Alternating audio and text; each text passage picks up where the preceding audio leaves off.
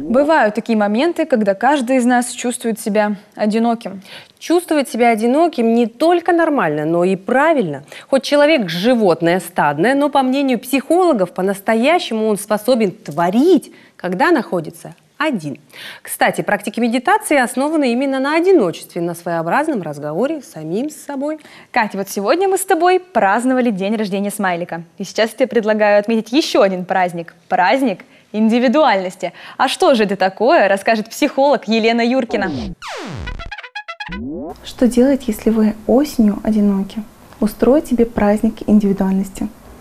Если человек себя признал одиноким, это не повод для сострадания, а повод для белой зависти.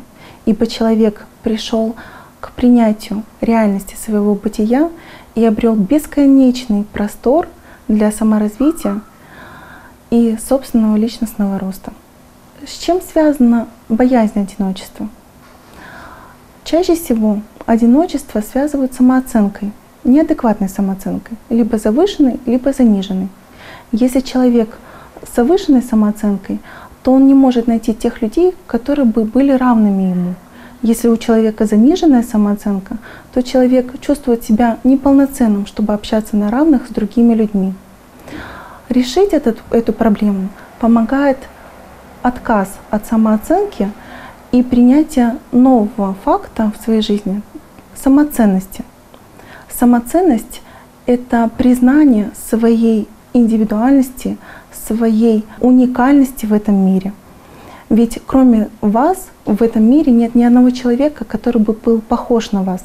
И когда вы принимаете в себе самоценность, чувствуете, что вы ценны сами по себе — то у вас уже нет нужды искать тех людей, с кем бы вы себя сравнивали, или кто бы вас мог оценить.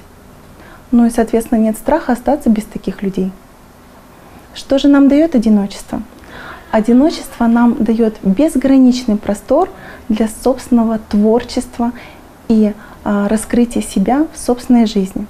Вы можете бесконечно экспериментировать над собой, перестраивать свою жизнь. Вы можете делать те вещи, которые давно хотели, но никак не решались, потому что все время думали, как воспримут вас окружающие люди. Надо просто принять эти преимущества. Не обязательно посещать психотерапевта. Достаточно читать хорошие книги, слушать хорошую музыку и встречаться с людьми, которые близки вам по духу. Одиночество, принятое и осознанное, это праздник индивидуальности.